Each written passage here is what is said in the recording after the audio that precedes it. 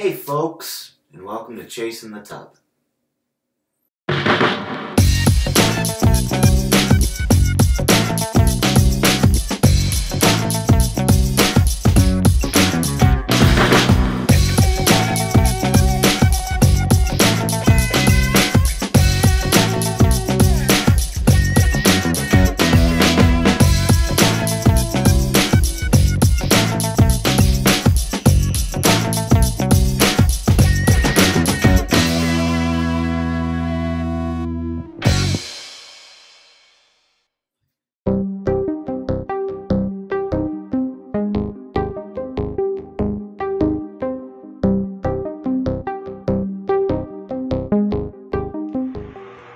Well, folks, it's that time of the month again. Chase In The Tub here with another bath bomb, and we have November Moon by Witch Baby Soap because it is the full moon of November. Uh, it's 4.5 ounces, and it smells like a rosewood forest. So, yeah, very foresty, but very fall inspired. So let's drop this in see what it does.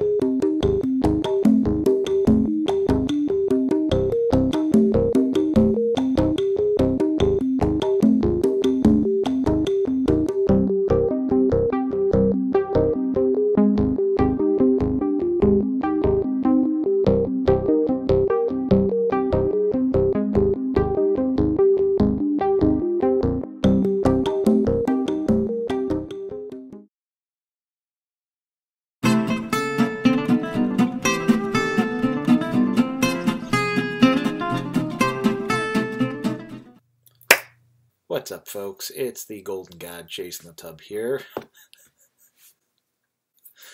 I always wanted to say that one. Um, now, uh, we just had a full moon at the end of November, so we got to use November Moon by Witch Baby Soap, which you could have only gotten had you pre-ordered the Fall 2020 Witch Baby Spell Box. I recommend highly that you do that. I'm going to leave a link down below so that you can get your spring 2021 spell box because the uh, winter 2020 spell boxes I just got a few days ago.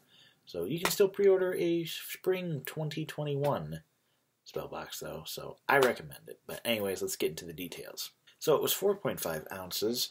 Uh, didn't have a price because it came with the spell box, and the scent was this enchanting autumn winter hybrid kind of smell, it, it, rosewood forest. So it it smelled a little bit of both. Like if November had a scent, it would be this. It had this kind of like minty smell, but it was also fresh and fall-like. So um, I totally loved it. You dropped it in the tub, and it turned the water this brilliant blue-green color. Uh, you know, as it fizzed the white foam.